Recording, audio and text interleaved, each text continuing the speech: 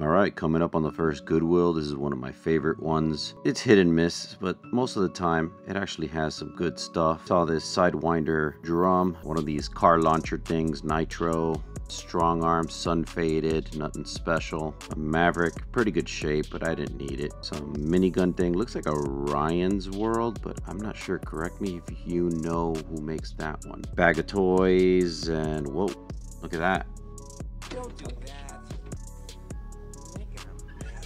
I passed up a Guardian one time and I will not do it again. I found one more Nitro Blaster. I had to put the Lord's Work mag back in it because they were separate, but I left it on the shelf. Didn't need it. Moving on to the next Goodwill. This is actually a, one of my other favorite Goodwills. Generation 2 Super Drum. Hadn't seen one of these in complete form, but it's definitely not worth 10 bucks. Ooh, is it a Hera? No, it's not. It's another Helios. Man, I almost got excited. Dart Zone Quadro Blast. I love seeing those. Boomco Rapid Madness Blasters. See these everywhere. Just always missing parts. Don't need them. Brain Saw from Nerf Zombie Strike. Cool gimmicky blaster. Some water gun thing from Super Soaker Slamfire. Some kind of Turbo Advance Adventure Force version. Another X-Shot Reflex. By the way, you guys can tell the years these are made just by looking under the barrel. It's always cool to see. The newer ones have a more brilliant orange. The older ones have a more dull orange. And yes, I finally found a Mega Hot Shock on thrift. I've been wanting to thrift one of these forever. I finally found it. Put this one aside. This Alpha Strike, I think it's called the Optic QS4 because uh, it's kind of cool and it's the grippy version. It's not the one that hurts your hand with the plastic. You guys seen this uh, Flip Fury thing from Adventure Force for a while and still got the turbine thingy. Yep,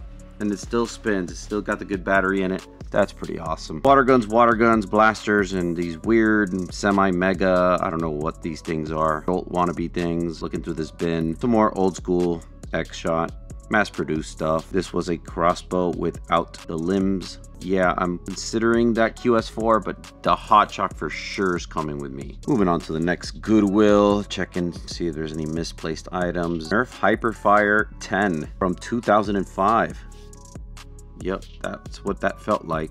And that was cool to see, some vintage Disruptor. These are almost becoming Mavericks, almost surpassing the Strong Arms. Painted Maverick, never seen one of these. That's pretty cool. This guy just went all out with the matte paint. It's actually not a bad color. Another Hyperfire, doing the Lord's work, putting them together get the paired set, whoever is interested in picking those up. Wrapping up the search, and then I saw this Alien Menace Blaster, and I wanted it so bad, but I didn't need it. Moving on to the next Goodwill. And another Hot Shock on the same day, I couldn't believe it. At three bucks, however, I'll let the next guy take advantage and get his Hot Shock. Then I saw this box with sealed laser blasters, or at least three out of the four, and then I think I found the rest of them just loose. It was a cool, I mean, probably a budget laser blaster set. Some more of these no-name brand, uh, mega-looking blasters. Looking through the shelves, this one was pretty anemic. On another Boomco, Rapid Madness. These things are always missing so many parts. It's incredible. It was Black Day. I would have gotten it for two bucks, but like I said, what would I do with it? I have no parts for it, and I'm not gonna go on eBay and spend a fortune just to match the parts that are missing to it. Going through the rest of the store, and I didn't see much to be honest. Just trying to dig through the plush to see what I found. I found this one Boomco. It looked like one of the Halo SMGs, but again, it was missing so many parts, and I hate the fact that when I do find these, they're always missing so many parts. Boomco parts are so proprietary and exclusive to these blasters as they are. When you find one, you literally need to have all the parts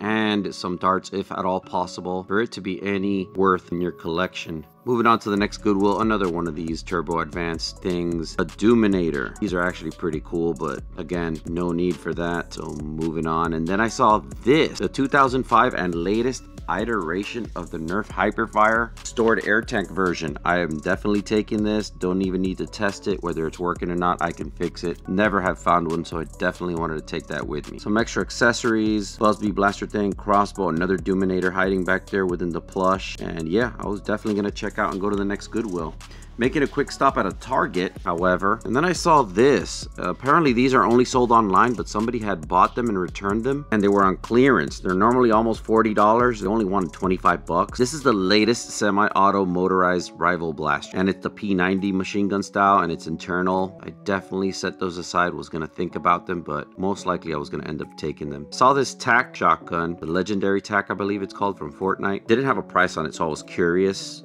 on what it was worth. Maybe I got lucky with a secret clearance. Wanted to check it out and I was like, what? Yeah, Target, you can go ahead and keep that. Yeah, I'm gonna go ahead and put that right back. Looking through the shelves and whoa, some flip eights hiding. Now I know those are $6 right now on clearance and there was two of them. So I'm like, yeah, you're coming with me and yeah, you're coming with me too. Uh, let's move on to grab a cart. Luckily there was one that was empty nearby. So I dropped those in the cart and then I decided to come back for those chargers. I grabbed both of them, you know I did. Moving on to the next Goodwill and I saw one of these cool older Zombie Strike dart tag blasters. Kind of rare, but I already got one with the scope that I picked up on a local lot. An arms deal like Captain Xavier calls them. Very clean disruptor here. I have like 1800 of them, so the next person would definitely benefit from grabbing that. Saw the Cyclone Shock. I really, really love this. This is probably my favorite, if not the number one multi-capacity pistol for Mega for me. Saw Praxis over here. Saw Roto Fury. The Roto Fury was kind of rough, I guess. They wanted too much money though. Some of these Goodwills have weird pricing. They see the bigger guns and they think that they're worth more, so they charge more for them.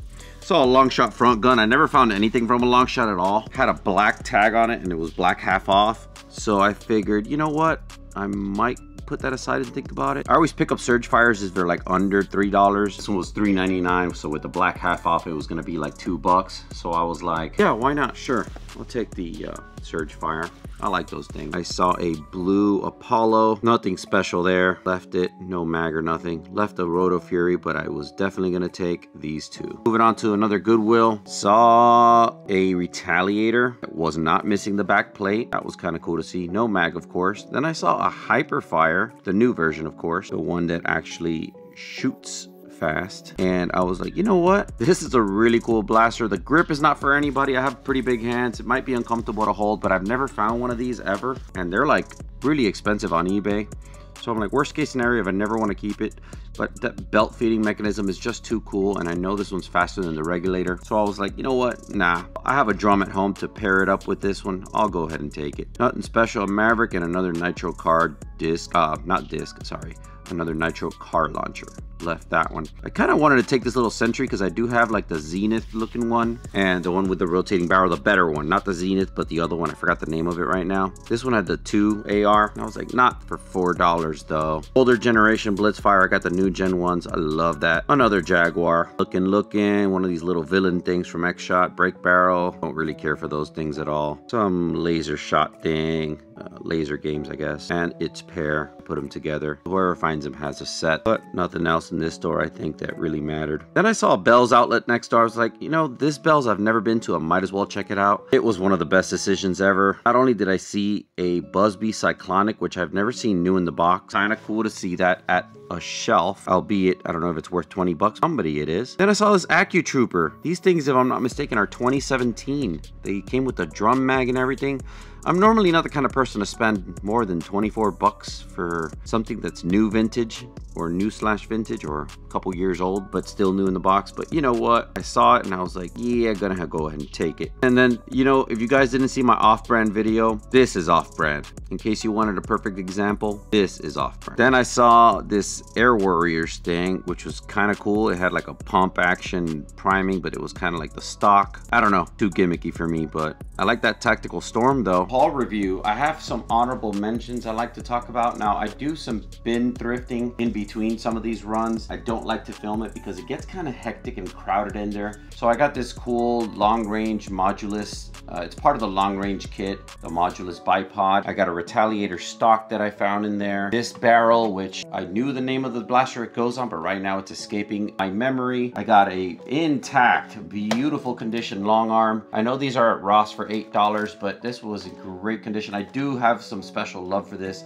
I have the Desolator, so it's always nice to have one of these to go with the Desolator. Of course, there was a clean night finder in the bins. Of course, I grabbed it. The light and the lens, everything works really, really well on that one. Spring fire, not in the best condition. It's a little bit faded on one side. Well, actually not really. Feels like it's been to the beach. I gotta clean these up, desand it, and desalt water it. Ion fire, I didn't need another one, but it was in the bins, so this thing was like 20, 30, 40 cents. Also in the bins, this Rebel Blast which the name also is escaping my memory right now. This was really, really cool to find. Dart tag, 10 shooter, I believe. I didn't have one of these before, but I was happy to find it. I found the scope separately in another part of the shelf. Of course, the Guardian crossbow was not gonna leave that behind. Got the Hyper Fire. Did try pumping it and it does have some issues with air. It doesn't hold any air, so might have to do some epoxy repairs to the tank or to the bladder or to any of the parts in there that might need it. Very happy to find this hot shock. This one I ended up getting for like 99 cents and it's in perfect condition. Long shot front gun. I've already cleaned all this stuff with 70% alcohol. I do recommend you guys that go out thrifting, just use common sense. When you pick this stuff and bring it home, grab some 70 alcohol, sit down with your girlfriend or with your sibling or a friend that wants to help. I use a microfiber. I just usually spray it down and then I wipe these things. Especially now that, you know, COVID became a thing since 2020. General common sense, relieve everything of the pre-existing germs that were on it. I had this Surge Fire too. This one's in perfect condition condition. I normally don't pick them up unless they are in perfect condition. Definitely have the Hyper Fire. Finally pair it with its drum. Of course, you guys saw that AccuTrooper that I picked up. Got the charger, of course. Got two of those and got two of the flip shots. Now, I actually like this flip shot. I know in prior videos I've mentioned that I don't like flip shots, but I do like the 8. The 8 was probably the best one they ever made. I want to mod one. There's not a lot of people that have modded them, and I think it has a lot of potential. Thank you so much for liking, subscribing. I hope to catch you guys on the next Blaster Bargains video.